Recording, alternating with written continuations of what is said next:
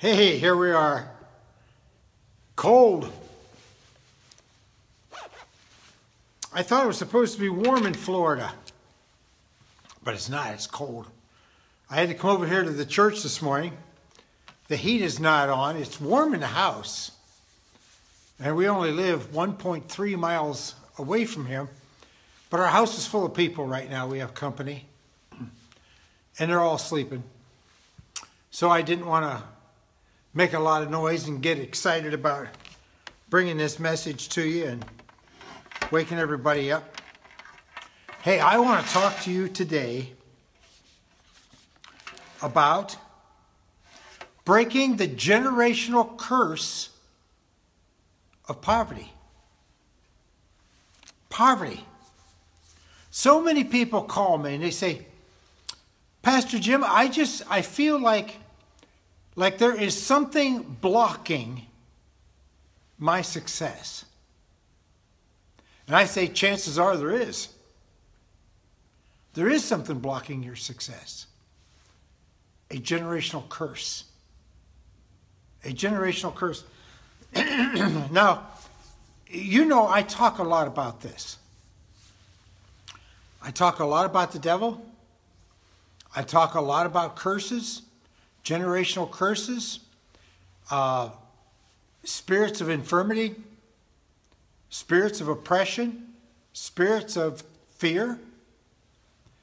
The Bible has, has a lot to say about spirits, good and bad. There are good spirits. There's good spirits. The, the, the Holy Spirit, oh my goodness, is so wonderful. It's just, the Holy Spirit is wonderful beyond comprehension. Beyond anything I can even explain to you, the Holy Spirit is so wonderful. So wonderful. Our teacher, our comforter, the power that comes with the Holy Spirit, the power to heal, the power to bless, the power to save, the power to prosper, the spirit of wisdom.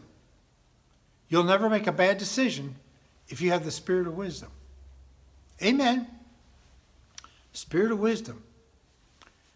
In her right hand is long life. In her left hand, riches and honor. I mean, the spirit of wisdom is wonderful. But there are evil spirits also spirits of poverty, generational spirits.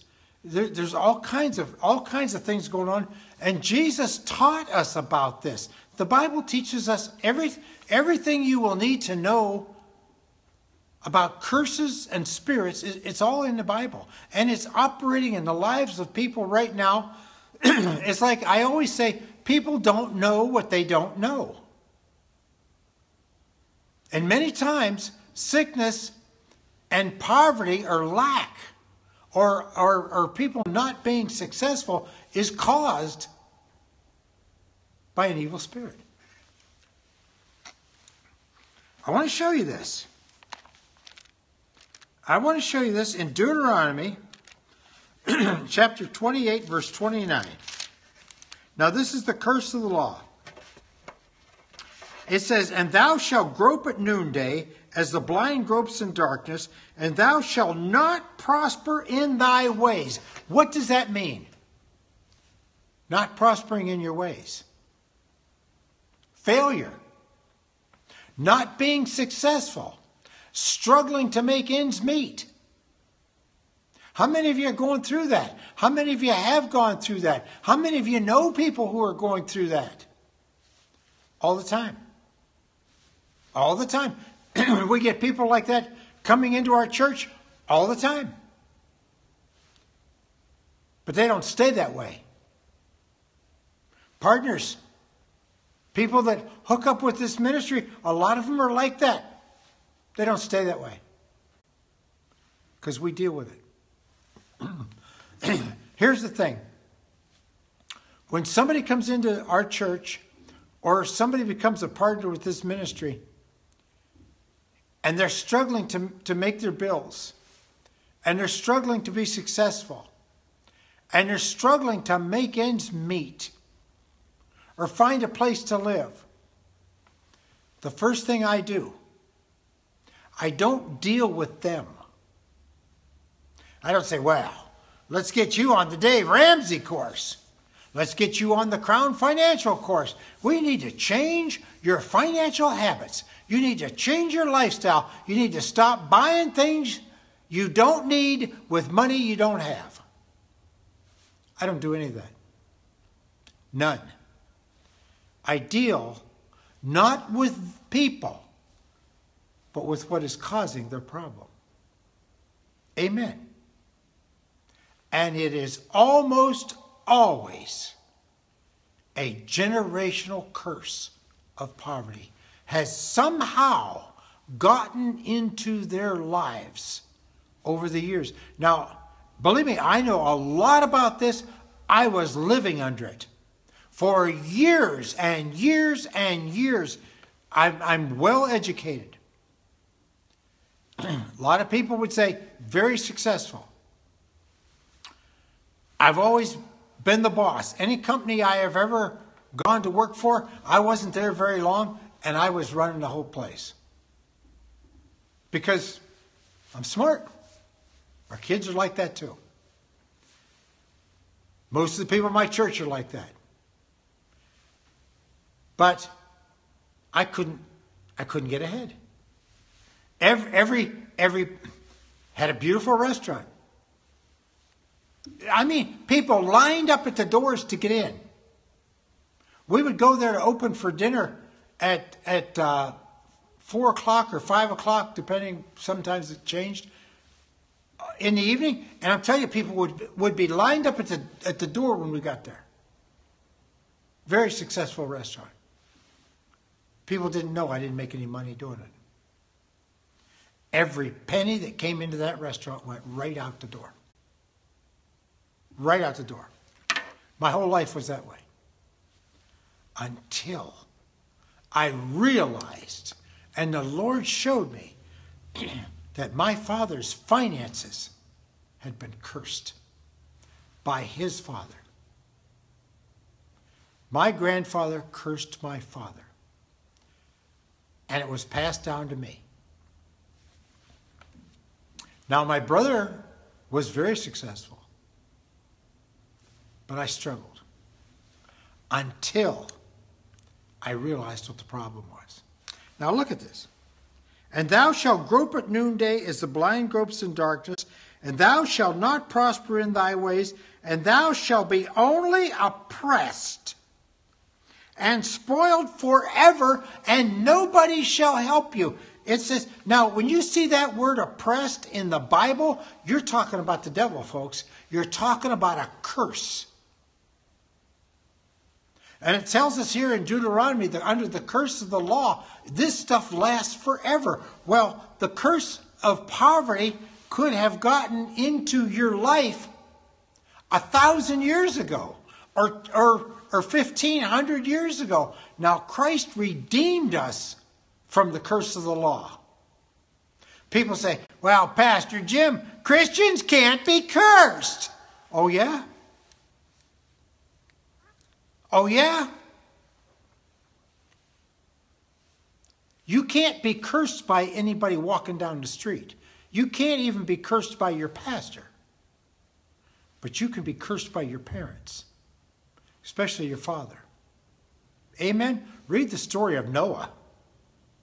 How he blessed two of his sons and cursed one. I'm telling you what, folks, that power is still there. Nothing has changed. a generational curse of poverty, if it gets into your life, it will never leave on its own. Never. And that's why so many people struggle. People say, Oh, Pastor Jim, I just feel like something is blocking. It is. It's a generational curse of poverty. And it's awful. And it inhibits, it blocks. It, it just, it's, it's, like, it's like it's got a grip on your finances. It does. Amen? I'm telling you what, you can get a generational curse of poverty in your life so quick and so easy. All you have to do is say, well, we never amount to anything. Our family's never been successful. We can't afford this and we can't afford that. And I never have money to pay my bills. I'm telling you what, you just opened the door. And let the devil right in with his generational curse of poverty. And believe me, he's going to stay there. He's going to stay there. But, but, the key to the whole program is found in Mark chapter 16, verse 17. Jesus said, These signs shall follow them that have faith in my name. They shall cast out devils. And I got news for you. Those same people who can cast out, out devils can also break a curse. When people come into my church and they're broke, when people, when new partners hook up with this ministry and say, Well, Pastor Jim, I'm just having so much trouble with it. First thing I'm going to do is look for a generational curse of poverty. Once I break that in their lives, and if they're in my church or if they're one of my partners, I have the authority to do that. I break the generational curse of poverty in their life, I'm telling you what, within six months or a year, their whole life is different. Their whole life is different. All of a sudden, they got money to pay their bills. They got money left over. They're starting to accumulate money because the generational curse of poverty is gone.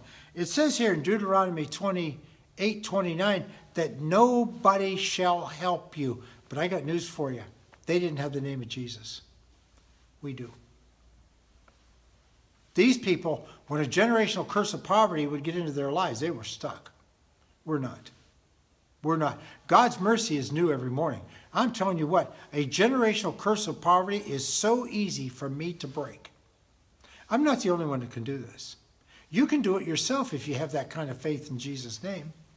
If you don't, I will help you with it. Go to my website, increasenow.com. Become a partner with this ministry. You know, help us send this message around the world. A donation of any amount makes you a partner. People donate as little as $5 and as much as you know how much. Doesn't matter. We treat everybody the same. I take little donors and make big donors out of them. And the way I do that is by increasing their finances. Is that okay? Are you okay with that? Yes. I go into churches and, and pastors say, "Well, I need I need more more money in my church. I need more offerings." I say, "I'll get you more offerings in your church." The way I get more offerings in somebody's church is I increase the finances of the people in the church. That's how I do it. I don't tell them to give more money. I just get more money into their pockets. Then they give more. Huh? Pastors tell me when I come to their church, their, their offerings go up 35% on average. That's because I increase the finances of the people in the church 35%. And that's just for starters. Amen? Glory to God. The first thing I'm going to do if you hook up with this ministry or you call me is I'm going to break that spirit of poverty. I'm telling you what, once that spirit of poverty is broken, all of a sudden things start to happen. Things start to happen. The devil is no longer standing in the middle of the road on your way to success. He's gone. And if the spirit of poverty is broken, if the devil is gone from your finances, I'm telling you what, you're going to do nothing but increase. We are living, I have, I'm telling you, people, I have never lived like I'm living right now. I have never lived this way in my entire life because I broke the spirit of poverty in my life. Amen. Glory to God. Hey, I'm out of time for today. But go to my website, increasenow.com. Hook up with this minister, become a partner. Let me work with you. I guarantee you, in six months or a year, everything will change for you. Hey, make it a great day today. Go to increasenow.com. And remember this God's word will save your soul, heal your body, and pay your bills.